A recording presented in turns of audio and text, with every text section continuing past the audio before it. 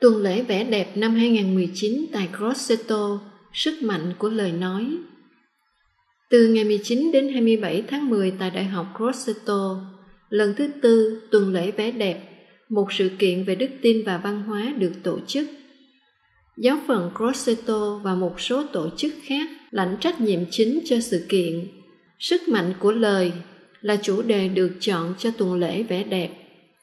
Cha Roberto Nenli, giám đốc về một vụ văn hóa của giáo phận, người phát động sáng kiến giải thích Tuần lễ vẻ đẹp được thiết lập với mong muốn tạo ra những con đường cho tất cả mọi người, những người tin và không tin, giúp mọi người tận hưởng vẻ đẹp theo nhiều nghĩa khác nhau. Chúng tôi tin rằng tất cả các vẻ đẹp như vẻ đẹp thiên nhiên, vẻ đẹp của các mối tương quan, tình bạn đều dẫn đến vẻ đẹp tuyệt đối, đó là Thiên Chúa.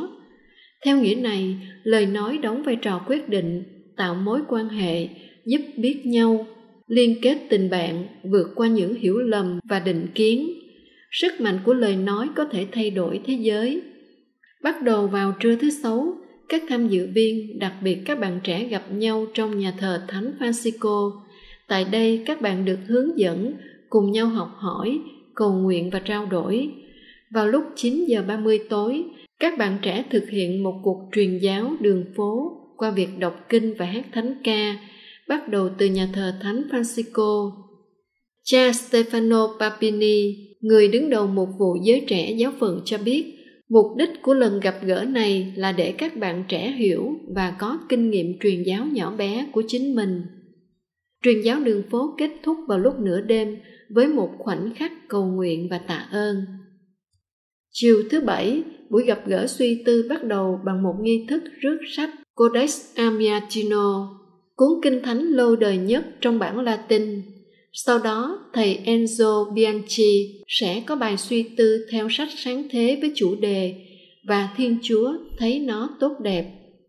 Thầy Enzo Bianchi sinh năm 1943 sau khi theo học kinh tế tại Đại học Torino Enzo, thầy rút lui vào cô tịch và cùng với một số bạn bè sống đời cầu nguyện, chiêm niệm và làm việc tay chân kiểu đang tu.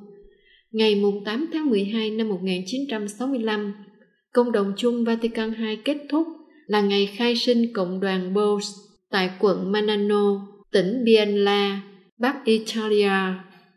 Trong các năm 2008 đến 2012, Thầy được Đức Benedicto XVI chỉ định làm chuyên viên tham dự Thượng Hội đồng Giám mục Thế giới về lời Chúa và tái truyền giảng tin mừng.